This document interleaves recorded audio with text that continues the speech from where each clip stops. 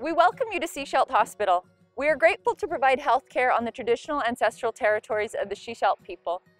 We hope this video will explain the process when you visit Sechelt Hospital's surgical services for many of our day procedures. Some of the day procedures you might come in for are minor surgeries, including eye and cataract surgery, or endoscopy, including colonoscopies. When you arrive, you may enter from these main doors at the north side of the hospital, or the doors at the east side, which are part of the old hospital. The east side is closer to the registration desk. The registration desk opens at 7 a.m. Here you'll be asked to show your BC Services card or driver's license that has your personal health number on it. The clerk will confirm that the hospital has the correct contact information for you and then send you down to us. This is the surgical daycare waiting room with washrooms outside.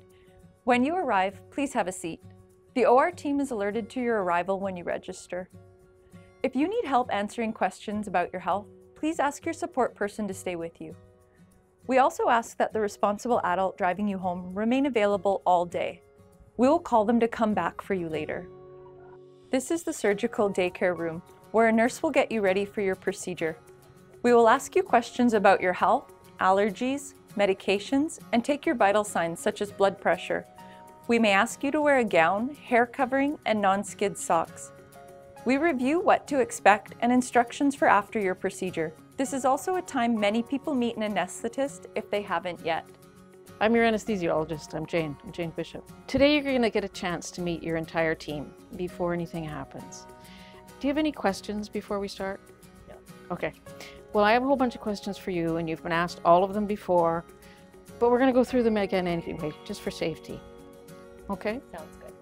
Before going in for your procedure, we often start an intravenous, administer any preoperative medications, and offer you an opportunity to use the toilet.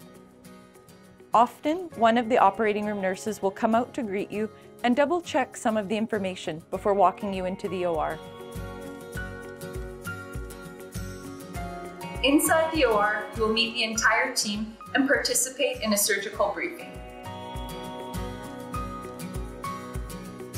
As we hook up the monitoring equipment and prepare for the procedure, we care about your comfort and warmth. After the procedure is complete, you'll spend some time in our recovery room. Your length of time here will differ depending on what procedure we did. Most people have their vital signs monitored and comfort level assessed.